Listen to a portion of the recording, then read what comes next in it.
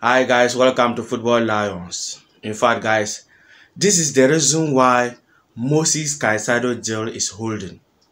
This is the reason why. There is some little disagreement between Chelsea and Brighton. And this is it guys. This is it. Exclusive. Chelsea and Brighton is closing on agreement for Moisés Caicedo fee around 80 to 85 million plus bonuses. Understand the issue is that Brighton is not happy with Chelsea ways structure of the payment. Brighton want Chelsea to pay the huge amount of the fee upfront, but Chelsea wish to pay in three installments. In fact, Brighton want Chelsea to pay the 85 million fee at once, fully at once. And Chelsea want to proportion it and pay it in three installments, guys. Chelsea want to pay Moses Caicedo 85 million deal, three installment, that is three season. But Brighton want Chelsea to pay it upfront, fully at once, within a season, all the 85 million. Yes, so that is the disagreement for now. Brighton and Chelsea did not agree on the payment structure for Moses Caicedo transfer. Brighton and Chelsea did not agree on the payment structure in which Chelsea want to pay all the 85 million within three seasons, that is three installments. But Brighton want Chelsea to pay it at once fully within a season. So guys, this is the reason why the deal is holding. Although they are still discussing, they are still negotiating, but the problem now lies on the payment structure. As I said, Brighton want Chelsea to pay all the 85 million and Chelsea want to pay it in three seasons. That is three installments. So that is the reason why, and that is a simple reason why the deal is still holding. Guys, so let's hope the next thing that we'll hear, Brighton and Chelsea agree on the payment structure so that the deal move on and Caicedo become Chelsea player. So guys, that is the reason. Let me hear from you and let me hear your thought under the comment section. And Chelsea continue their interest to sign Dusan Vlahovic. And this is it. Understand, Dusan Vlahovic could leave Juve, but only for an important buy. He's one of four strikers being considered by PSG. Chelsea are currently not negotiating for Vlahovic despite reports. CFC and buy appreciate Dusan, but haven't opened talks are still stand. So guys, that is the latest information for Dusan. In fact, Chelsea is interested to sign Dusan. And Pochettino is a big fan of Dusan Vlahovic, guys. But Chelsea haven't submit an official bid yet. Yes, Chelsea haven't submit an official bid yet. But the likes of Bayern Munich and PSG also have Dusan on the list. Yes, the possible striker they may sign. And during Mauricio Pochettino press conference, guys, when he was asked whether Chelsea will sign another striker, he didn't deny it and he didn't rule it out. He said after pre-season, it will determine whether Chelsea should sign another striker or not. Yes, that is what Pochettino said during his first press conference. He said during the pre-season in United States, it will justify and it will confirm that Chelsea should sign another striker or not. So, in the coming weeks and in the coming days, we will get more information about this Dusan transfer, guys. Whether Chelsea will sign him or not. Especially after the preseason. Yes, we will get more in details. Whether Chelsea will sign Dusan or not. And do Chelsea need a striker? Question here, guys. Do Chelsea need a striker? Yes, indeed, Chelsea, we need a striker. We need a striker. When you look at all those front players we have, Chelsea, they are all versatile players. They can play as striker and they can play as other positions. That is attacking midfield and left wing and right wing. But when you look at Dusan Vlahovic, his main duty is to play as striker. In fact, main traditional number nine. And Chelsea, we don't have such striker in our squad for now. Someone whose position and traditional and main duty to play as number nine. Yes, because Dusan is a player who, who is not versatile. Yes, he's a player who is not versatile. He only play as striking position number nine. That is all. And we need that kind of quality in Chelsea Yuan squad, especially in the Premier League, where the defenders are strong, where the defenders are very good. We need a proper number nine. Chelsea need a proper number nine to bully and to disturb and to make Premier League defenders unstable. Yes, so that he will give eyes to goals. Yes, Chelsea we need a proper number nine. And Dusan can be the man to lead our front line to give out the goals week in week out season in season out. Because we've been missing that for so long seasons upon season since Diego Costa left Chelsea we never seen a proper number nine proper striker giving Chelsea goals week in week out. Seasons upon seasons. Yes Chelsea missed that. So Dusan will be the right man and Chelsea need to go for him quickly. Because PSG and Bayern Munich they are also monitoring. PSG and Bayern Munich are also monitoring. So Chelsea need to work and to act quickly and go and sign him. Yes, because the likes of Nkunku, Nicolas, they can play as strikers, okay, but their main duty is not a striking position. So guys, that is the information for Dusan Vlahovic.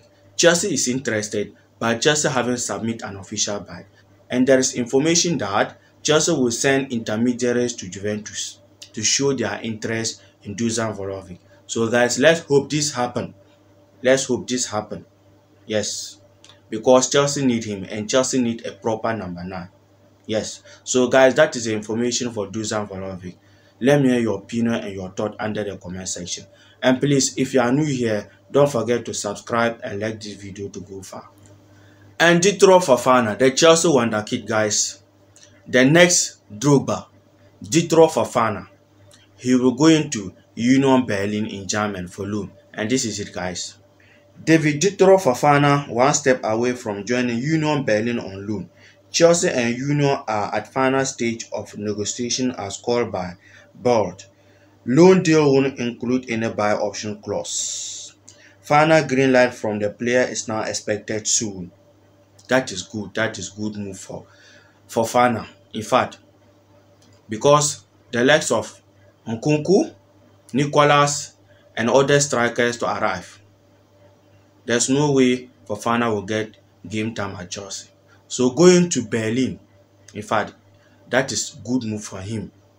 He will grow as a player because Fofana will be a good striker for Chelsea in the future, guys. Fofana The next Drogba for me, I see him. The next Drogba for Chelsea. So going to Union Berlin to develop, yes, and be ready for Chelsea in the future. This is a good move for Fofana. This is a good move for Datro Fofana, guys. So that is the information. Fofana will go in on loan to Union Berlin. And what I like about his move is that no buyback clause no buyback clause, and that is good from Chelsea. That is good from Chelsea, a player like Datro, who has the potential and who has the ability to grow and become world best number nine in the future. No, we should not sell him. We should let him grow because he's still young. Chelsea should let him grow because he's still young and prepare and be ready for Chelsea senior team in the future. So this is a good move for Datro Fofana, in my opinion. So let me hear from you and your thought under the comment section for Datro Fofana loan move. Do you think it's good for him? Guys, let me hear from you. Dybala, guys. Agent Thiago Silva talked to Paulo Dybala about his transfer to Chelsea, the Ramos. And this is what Thiago asked Paulo Dybala, guys. This is it. Thiago Silva asked, asked Paulo Dybala if it is true that he is coming to Chelsea, but he didn't answer. He's a top player. He will be a massive signing for us. I will like it. So, guys, that is the information from agent Thiago Silva. In fact, Thiago Silva met Dybala. So he asked Dybala about the rumors that he is coming to Chelsea.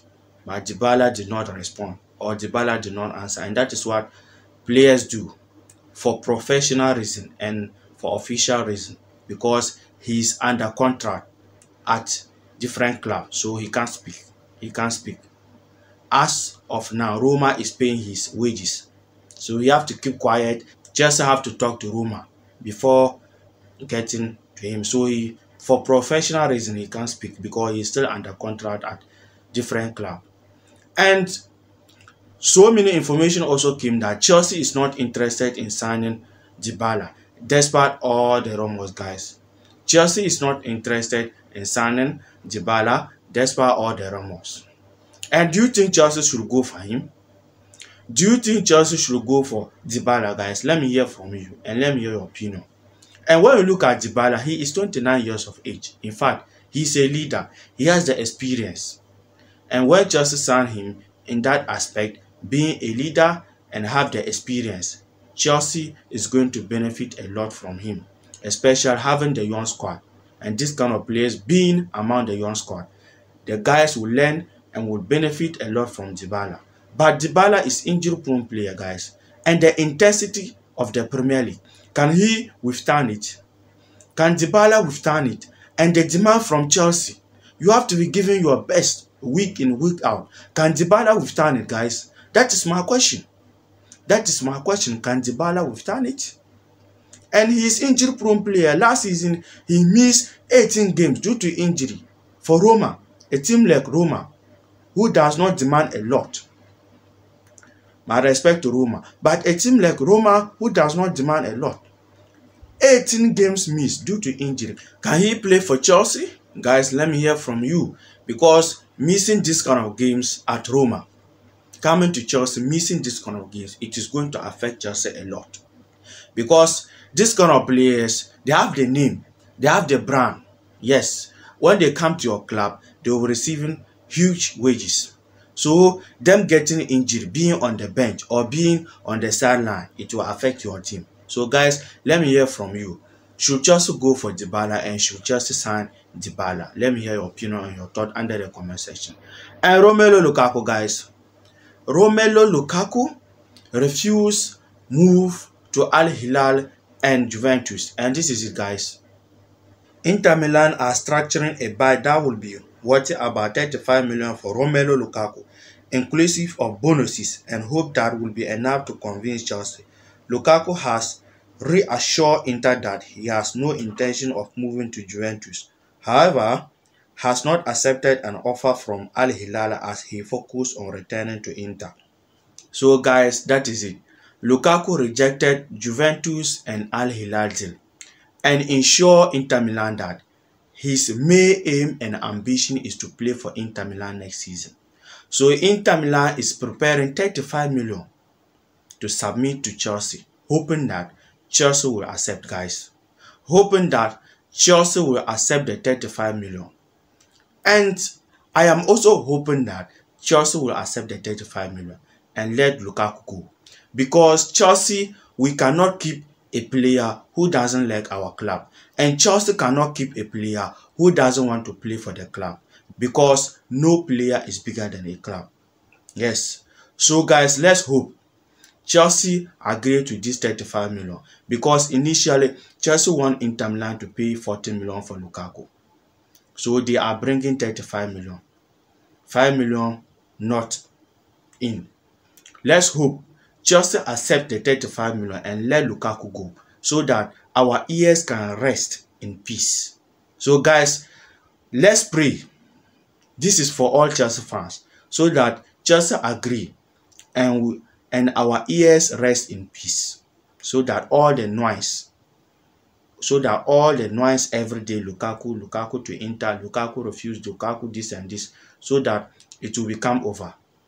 Because if you don't like Chelsea as a player, you can go to any team you want because no player is bigger than a club. So guys, that is the information for Romelu Lukaku transfer. And let me hear your opinion and your thought on all the transfers and all the discussion that we have guys. And please don't forget to subscribe and like this video to go far. Take care. Peace.